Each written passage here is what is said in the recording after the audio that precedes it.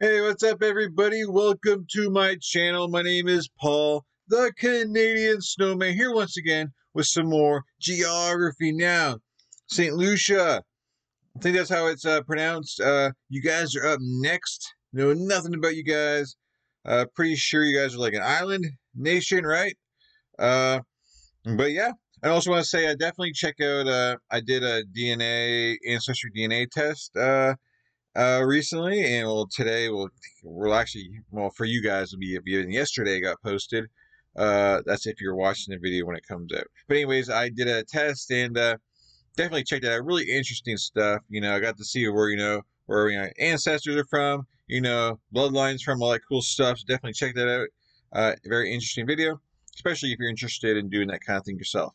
But anyways, uh, we're gonna jump to this video and check things out. Do do do. There's a Lucia. Yeah, Lucia, right? Anyways, find out. please hit that like and subscribe button, please, and thank you. And yeah.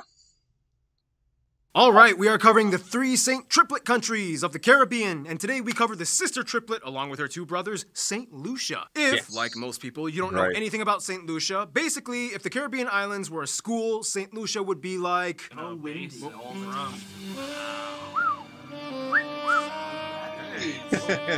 Hey, back off! She's mine! She's mine. Oh, she's mine. Was that sexual? Yeah, Saint Lucia is the hot chick of the Caribbean. Wow. It's time to learn geography. now!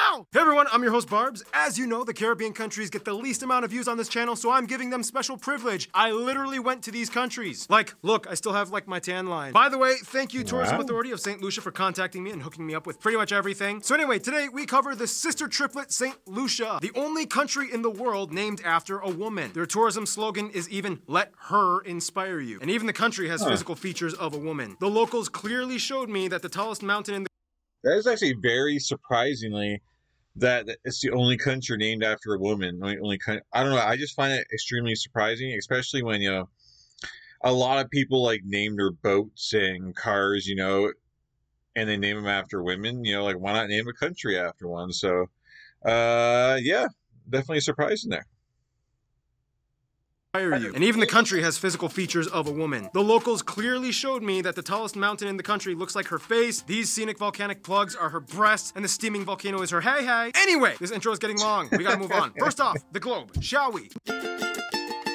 Oh my god. St. Lucia is sometimes called the Helen of the West Indies because she was desired and fought over like more than any other island. First of all, St. Lucia is located in the Caribbean, part of the Lesser Antilles, which are all the small islands hooking on the right side past Puerto Rico, and further part of the Windward Islands, which are the bottom five islands that stretch to South America. It is about 27 miles long and 14 miles wide. The island has about 20 or so smaller islets just off their shores. Pigeon Island used to be an island until it was connected to the mainland via man-made causeway in 1972. The country is made up of 10 districts, with the capital and largest city of about 70,000 people, Castries, located in the northwest side of the country. The next largest towns would be Gros-Islet and Vieux Fort down south, which actually holds the largest airport, Hewanorra International. This airport is where most international flights come into, which is why the country is investing so much in this one town to attract the tourists to stay instead of complaining about needing to get taxis to get all the way up to the hotspots like Castries or Soufrière. Castries ah. has the second and only other airport, Castries George F. L. Charles Airport, which has a shorter runway that only handles regional turboprop and prop airplanes from other nearby islands. The country also has many other means of transport, the largest port being the port of Castries, where cruises and yachts usually dock, whereas much of the cargo vessels dock at Port Cul-de-Sac at Buckeye Terminal, which holds massive crude oil storage tanks that cooperate with countries like the USA, Venezuela, and Colombia. From there, you have three main roads that go around the island the East Coast Road, the West Coast Road, and the Gros-Islet Highway that goes all the way to the northern tip of the island. This whole section here is only accessible by small local paths, many of which are not fully paved or even accessible by vehicle. The country is planning on maybe building a highway in the future, but for now, the number six shaped road network is the main means of road transport. Also, fun fact, they are part of the Commonwealth of Nations, and I have to give a little retraction from our Liberia and Myanmar episodes. Like many other English speaking former British colonized states, they actually do use, to some extent, imperial units like miles and gallons, so there's more than two. Woo! I knew you Caribbean folks were all right. We're not alone, Liberian man, Myanmar. In any case, today most town names and places are named after French words, but have like an anglicized, bastardized pronunciation. Reason being because instead of renaming everything after the French left, they just kind of repronounced everything. So it's like Soufrière, Souffre. Choiseul, choiseul, Carénage. Oh, hell no. I'm just gonna call it Castries. For what it's worth though, St. Lucia is kind of known for being the love and romance That's funny though. It's kind of smart too. You know, uh, the people have been living there a while. You know, at least it's kind of familiar. And but then you know, like you don't want your country named after. I guess. I don't know. I don't know. I don't know what I was gonna say, but anyways, I think it's kind of smart. I mean, it's kind of different. Uh, yeah. I had something else I was gonna say, but I forgot. Anyways, back to the show. Castries. For what it's worth, though, St. Lucia is kind of known for being the love and romance island of the Caribbean. It was voted the number one honeymoon destination by the World Travel Awards nine times. Wow. That's romantic. Why, yes, it is, Keith. I mean, the resorts and beaches are insanely accommodating. The views are pristine and opulent. You will see the colors blue, black, yellow, and white everywhere on top. Honestly, I uh, that want to say I I think it should be like I know like I'm from Canada, like Niagara Falls has been considered you know honeymoon capital of the world, and I don't. I mean, it's a cool spot spot and all, but I don't see why you'd want. It, I don't know why it'd be like a honeymoon kind of spot. It's a cool spot to visit. I think it's amazing, but I don't look at Niagara Falls as a honeymoon spot. But like a place like this, yeah, definitely for sure, because you know it's tropical and it just look it's looking really ah just looks really nice to look at, you know. And plus, you know, it has all those features as they said earlier, right?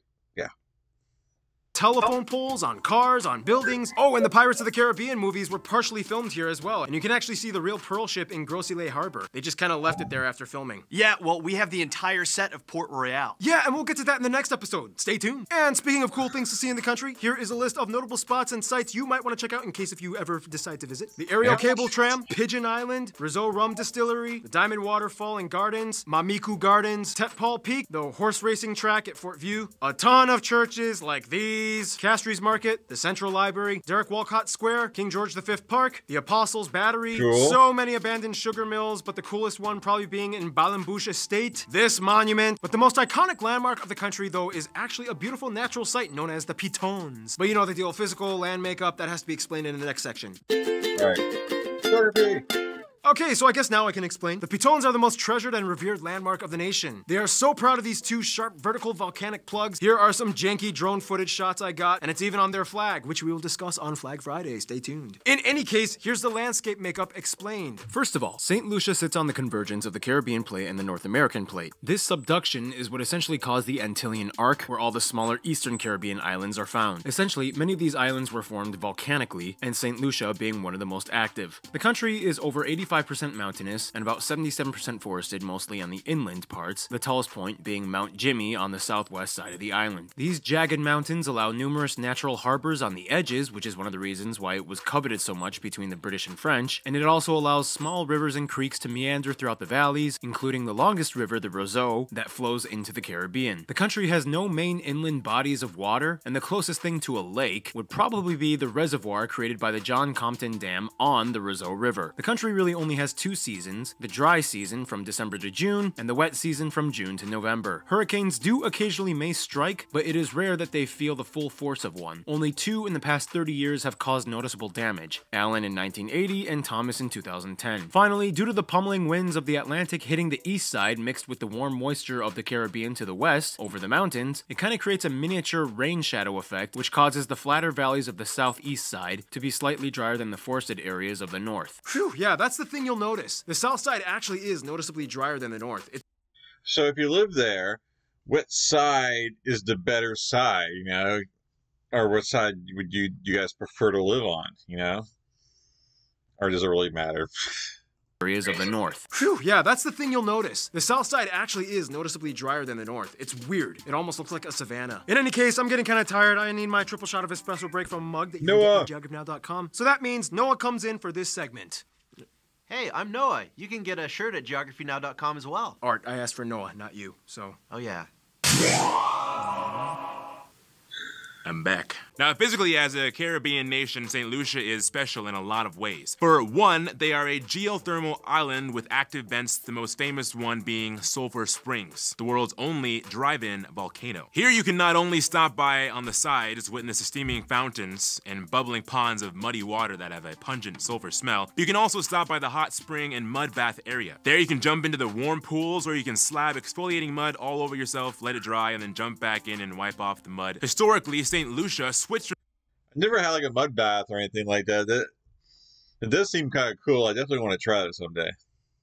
From being a sugar dominated industry to a banana producing powerhouse. Today, bananas are still grown, the largest concentration in Roseau. But the industry has waned and more people are growing other crops either to diversify the agriculture sector. This, of course, leads us to the obvious fact the largest industry that keeps them afloat at around 65% of their GDP is in tourism. I'm a backpacker on a budget. Can I go here? Eh, kind of. You can find lower end Airbnb accommodations and cheaper activities, but generally, keep in mind most places of interest cater to the high end. Luxury cruise lines dock daily, and visitors usually opt to stay at high end resorts. On top of that, like many other Caribbean nations, they have a 15% value added tax on purchases. Oh, wow. I mean, okay. So you mean like sales tax? It's basically sales tax. Dang, California already has like 10%, and I thought that was high. Come here, man. It's like a duty-free zone, bro. Guys, shut up. My episode. Uh, anyway, one issue the country faces has been littering in outskirt and rural areas away from resorts. To combat this, numerous recycling facilities have been built by the government, mostly inland by the town of Bexon, which is good because it keeps the land lush and green, not only aesthetically appealing, but optimal for animals. And here's our animal correspondent to explain. Gary Harlow here. St. Lucia is a reptile and bird paradise. Today, lizards and geckos can be found crawling over, all over buildings and vehicles. the island is a haven for birds of all kinds, like finches and warblers. Snakes of all kinds are here as well, including what is considered the most rare snake in the world, Kues snake. The island only has two main wild species of mammals, mongoose and the agouti. Now, you're more likely to find dogs and cats roaming around everywhere freely. It's hard to distinguish if they're pets or strays, but very I gotta pause it, man. Uh, I, I can barely pay attention to what he's saying because when he, the way he talks, man, it's, it's just funny, man. oh, dude, you're killing me, man. Roaming around everywhere freely. It's hard to distinguish if they're pets or strays, but very often they're most likely strays. And finally, the national animal, the St. Lucia parrot, is the only bird endemic to the country and is a vibrant, beautiful array of colourful feathers. Thank you. Now, we finish off this segment as we always do. Food! St. Lucia is home to a wide variety of dishes, some of which you can find in other Caribbean states, like callaloo, lambi, pepper pots. I'm, I made a, I'm saying Marvel character pepper pots. Some more Lucian specialties, though, include things like cocoa tea, bouillon stew, farine and cassava bread, float bakes, and any drink made by the Piton Company, as well as a national dish, green fig salad, and saltfish. Oh, and if you ever stop by, check out the Fond Doux Chocolate Plantation, where you can witness the traditional way of making chocolate. You can taste cocoa fruit, which is actually kind of tangy and sweet. And if you see him, say hi to Clinton. He'll show you the chocolate dance done in a massive metal tub, mixing the cocoa seeds by feet. And that's kind of the Lucian way. They like to make work fun, nice people, which brings us to. That look, it does look fun. Thank you, Noah. You are welcome. I asked you guys, the Lucian geography peeps, what do you feel when you say you are Lucian? And here are some of the things you said. I would say our language and how friendly we are. Not all of the Caribbean islands speak Creole, Right. so you'd be able to tell the difference. It's paradise. St. Lucian is a paradise place. The talking. The talking. You're gonna say they are St. Lucian. The talking is the way we're gonna say it in Creole, like eh, Sakafedio. You, it's a must. You must find some way to come to St. Lucia. I can't. I don't want to be anybody else. I'm proud to be a Lucian. You know, I always enjoy someone asking me where I am from, and they'll be like, man, I have to visit this place. Um, St. Lucians are descendants of brigands and they were fighters. If they feel something is right, it should be owned by us. Anyway, first of all, the country has almost 200,000 people and was fought over 14 times between the British and French, more times than any other country in the Caribbean. The majority of the country is Afro-Caribbean at about 85%. Almost all are descendants of slaves brought over from colonial times. In addition, there are another 10% or so of mixed race people, mostly between black and European. Then you have a small minority of Indians at about 2%, mostly descendants of servants brought over from Uttar Pradesh and Jharkhand Jharkhand in India back in the 19th century. The remaining 3% are all other groups, including the native Kalinago Caribs and white Lucians, mostly with English heritage. They use the East Caribbean dollar as their currency. They use the American types A and B plug outlets, sometimes the British type G, and they drive on the left side of the road. Which is funny because Cool. you'll notice they prefer to import a lot of non-customized cars from Japan. So you'll see a lot of dashboard touchscreens in Japanese, and the people just kind of figure out what the buttons mean without actually knowing how to read Japanese. I saw this in all three Saint countries, no joke. If there's one thing that Lucians can show a deep sense of distinct pride apart from the rest of their cousins, it's the fact that they are officially a bilingual nation with English and their own unique Lucian Creole. Creole, which is French based. During slavery times, the African inhabitants were kind of subjected to centuries of confusion. I mean, it was like. So, repeat after me. The word is address. Non, non, non, non, non. Répétez après moi. Le mot, c'est adresse. Address. Adresse. Address. Adresse. Adresse? And it stuck. It has been somewhat standardized. They have a Lucian Creole dictionary. Schools are allowed to teach in both languages. Essentially, they can pretty much communicate with all the other French based Creole Caribbean countries, and generally, they can communicate with the French when they visit as long as they don't talk too fast. I was told by you guys some popular things all Lucians say is hey, hey, hey, hey, and hee hee hee, salop. I think that last one was like a swear Well, so we get along great, you know, Canadians. Hey, hey, hey, and you guys, you guys, hey. So yeah, we, we, I think we get along just fine. Hey, hey, hey, hey, and hee salop. I think that last one was like a swear word, but whatever. Nobody except you guys, the Lucians, will care. The country is relatively well off compared to their neighbors, and it all has to do with the government putting a huge emphasis on education, which follows many methods from the Lewis model. It helped them transition out of an agrarian based economy to a service driven one in the mid to late 20th century. It was kind of like. Oh man, I'm a mess. I gotta like send a ton of my people to universities abroad. Knowledge is power and stuff. Hi, everybody. I'm like totally more developed and geopolitically on par with other sustainable sovereignties. Want to take a walk on the beach? I just had the sands imported from Guyana, but whatever. And that's kind of partially how St. Lucia has gone from bananas to luxury resorts. Anyway, that's like all the technical stuff. So now here's the fun culture stuff. And with that, it's time for Random Hannah. In essence, St. Lucia is a country that loves to show itself off whenever it can. In fact, October is considered Creole Month, where all the festivities highlight the importance of the Lucian Creole identity. During the festivities, many fun activities are performed, like bamboo bursting, in which the locals make makeshift cannons out of large, hollowed out bamboo poles with kerosene fueled explosions. Whoa, that's really cool. We should do that here at Geography Now. Blast. I agree. I, I wanna, I wanna see someone do that. That'd be cool. Uh, uh, has the cannon ever blown up? Like, has there ever been a thing where it blew up in someone's face? You know, curious. With kerosene fueled explosions. Whoa, that's really cool. We should do that here at Geography Now. Okay, that's a ball of kerosene. Like, should you be drinking like a bunch of alcohol when you're trying to like uh, fire a cannon? It doesn't doesn't seem like the smartest thing to do, but you know, never mind.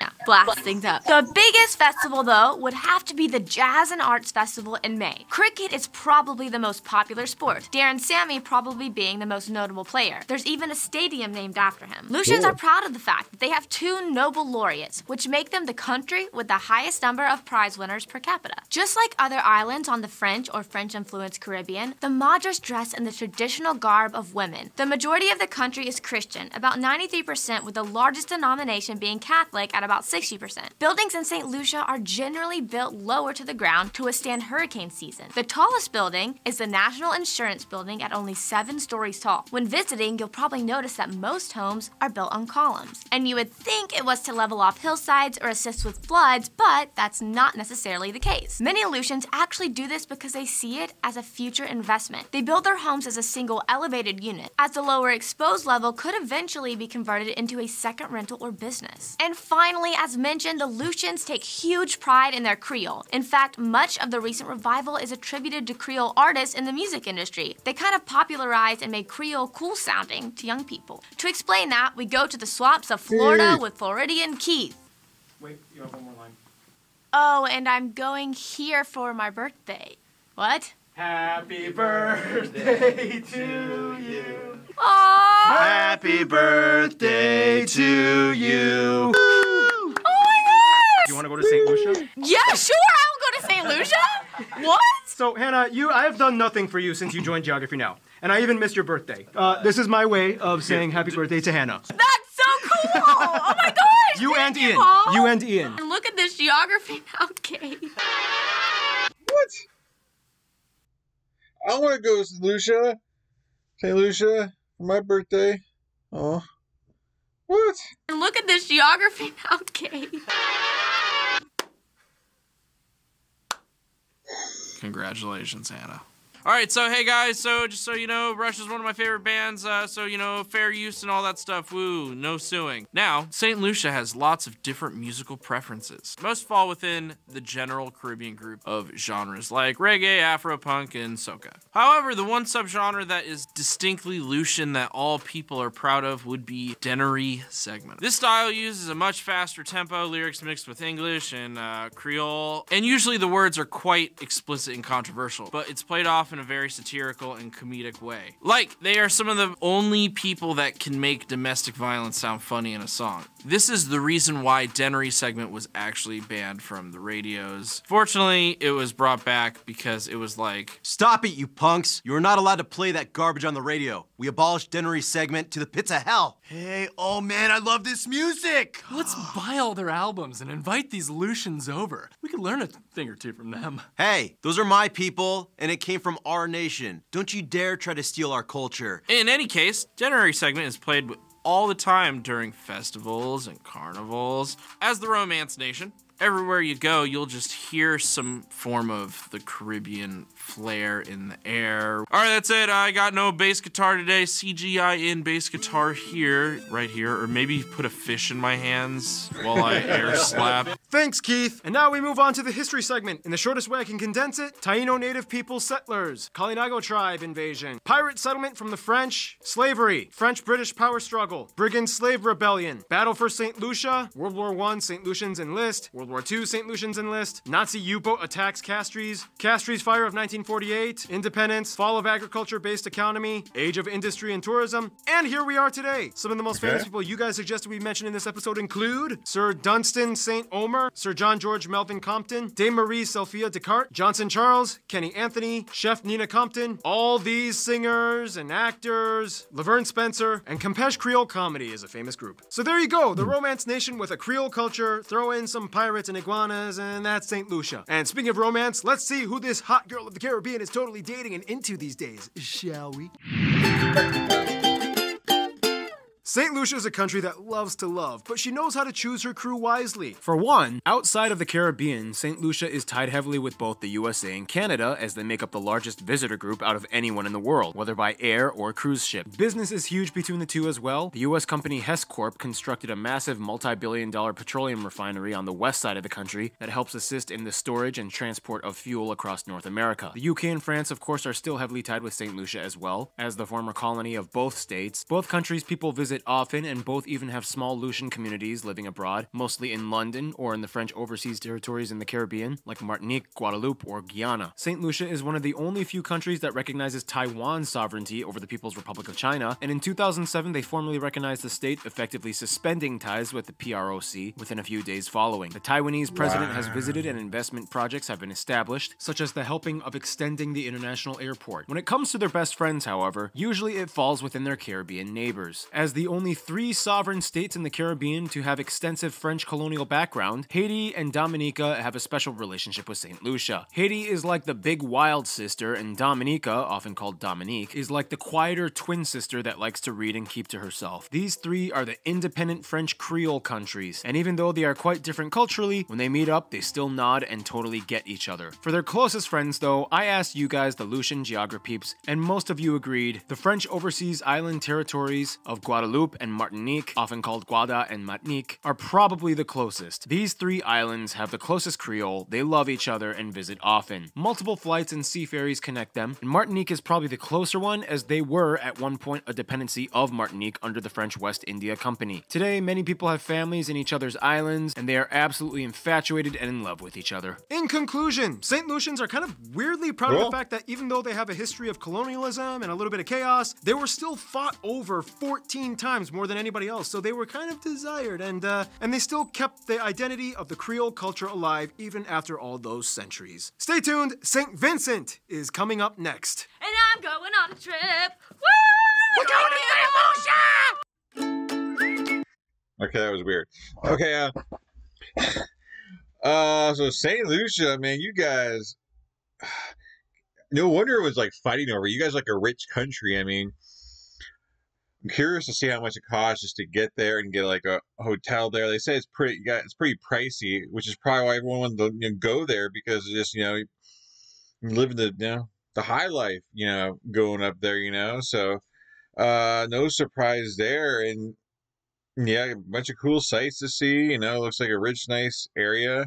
I'm not saying everyone there is rich or anything, but you know, it, it as they say, it's kind of built uh for you know people with a little bit more money. You know, so I'm assuming the people there, uh, since a lot of their, uh, you know, uh, a lot of their, I guess, money is from tourism. Uh, I guess I'm doing pretty well considering all the tourism is from you know richer people. So I'm sure you guys are doing pretty well over there. You know, so uh, um, assuming like probably crime is probably not bad, and you guys cleaned up like you know all the uh, I say rubbish, but you know like, you know all, uh, all the garbage and everything. You know that's all cleaned up. So beautiful country. You know. So anyways, guys, please hit the like and subscribe button below, please, and thank you. Let me know if you live there. Please comment below if you do, or if you've been there. You know, just curious. And I'll catch you guys in future videos. Thank you for watching. Guys, peace. You guys have a great night and a great day. I'm out here.